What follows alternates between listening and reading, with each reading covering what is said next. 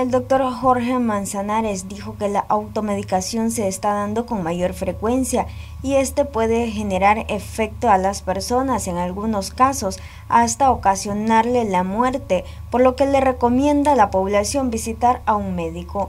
Eso es lo más común. Casi todos los pacientes que vengo, que vienen, cuando ya vienen, ya se automedicaron, ya me dicen, tomé esto, ya tengo 10 días de tomar citromicina, ya tengo tantos días de tomar esto, ya eh, tomé ivermectina, tomé esto, tomé aquello, porque me dijeron que era para eso, me dijeron que era para eso. Todo el mundo se automedica y eso es lo más común.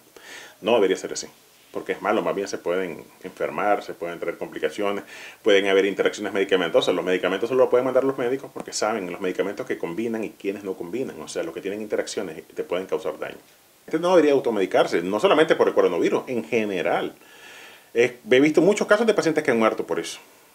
Pacientes que tomaron medicamentos para el dolor de cabeza porque le dijo la vecina que era para el dolor de cabeza y se murieron. ¿Y, qué es lo que pasaba?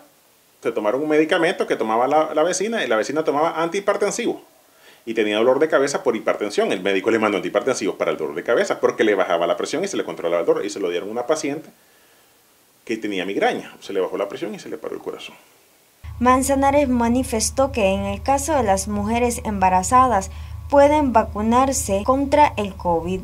Según la normativa de las y todo, no hay ningún problema. Las embarazadas se pueden vacunar sin ningún problema, no hay nada, salvo que tengan una contraindicación, o sea, que tengan una enfermedad de base que, que les esté golpeando en el embarazo, como una preeclampsia, una infección eh, puerperal. Eh, eso va en dependencia. Por eso que siempre cuando una embarazada se va a vacunar, primero es recomendable hacerles unos examinitos nada más y para ver si está todo bien, se puede vacunar sin ningún Una persona inmunodeprimida, que tenga las defensas muy, muy bajas.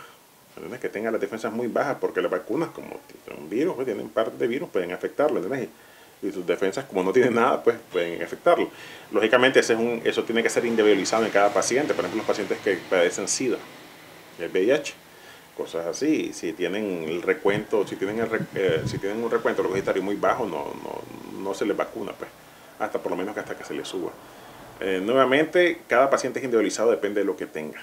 No, no podemos decir este se va a vacunar, este se va a vacunar porque tiene esto, no. Tenemos, se tienen que hacer estudios primero. Noticias 12, Darlene Telles.